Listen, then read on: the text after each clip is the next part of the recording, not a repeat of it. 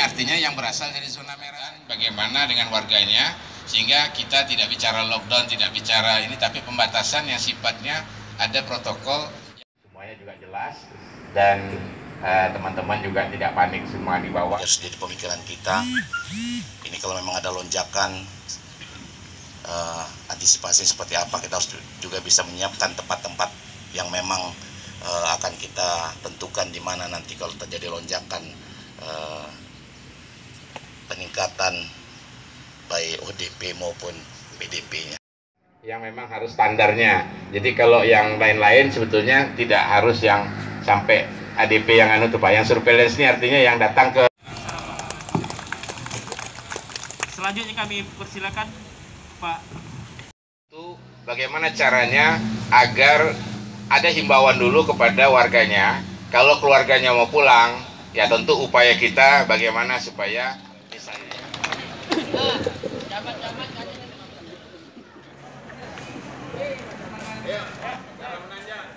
biasakan dalam kondisi ini kan butuh eh, vitamin apa namanya eh, apa namanya itu vitamin apa namanya Eh, kalau matahari apa D dengan E. Hah? D dengan E. apa namanya Vitamin D dengan E. D D dengan E.